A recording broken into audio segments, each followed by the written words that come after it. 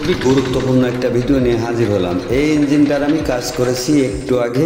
এই ইঞ্জিনটা এখন স্টার্ট দেবে এরা তিনটে লোক, এই একজন আর এই আর একজন আর হচ্ছে এই আর একজন এই তিনটা লোকের কোন লোকটা স্টার্ট করতে পারে ইঞ্জিনটায় তাই দেখা যাক। আসলে শুরু করা যাক যে ইঞ্জিনে স্টার্ট কে দিতে পারে। আসলে যে ইঞ্জিল কমপ্লিট করার পরে আমি কিন্তু ইঞ্জিলে এখনও স্টার্ট করিনি। বা করার চেষ্টাও করিনি। কমপ্লিট করে রাখার পরে এরা বলেছে যে, আমরা স্টার্ট করব। তাই এক এক করে দেখা যাক দেখি কী হয়। প্রথমটাই মিস হলো, দেখা যাক। এ বলতেছে যে, আমি আরেকগুলি দিয়ে দেখি। তা দেওয়া আরেকগুলি দিয়ে দেখাও দেখি কেমন হয়, দিতে পারো কি না।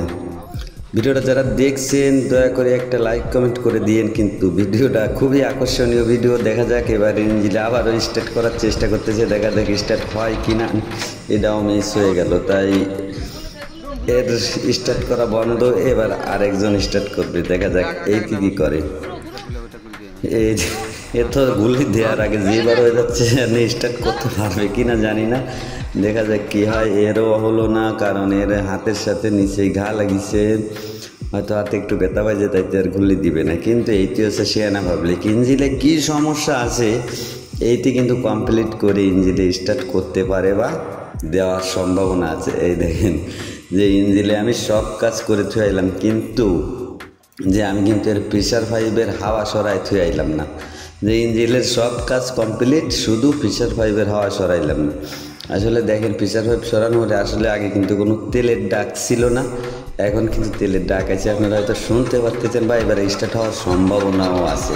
এইটি হচ্ছে, এটা কল আগেনি কিন্তু বুঝে ফেলাইছে যে তেলের ডাক নেই বা স্টার্ট হচ্ছে না কেন। ভিডিওটা যারা সময় দিয়ে দেখলেন সবাইকে অনেক অনেক ধন্যবাদ।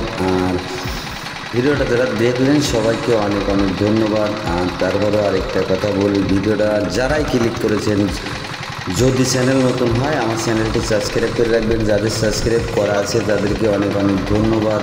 আর ভিডিও আসলে লাইক কমেন্ট করার জন্য চেষ্টা করুন। ভিডিও লাইক কমেন্ট না করলে ভিডিওর আকর্ষণ থাকে না। আজকের মতন বিদায় নিচ্ছি। সবাই ভালো থাকবেন, সুস্থ থাকবেন। আল্লাহ হাফেজ।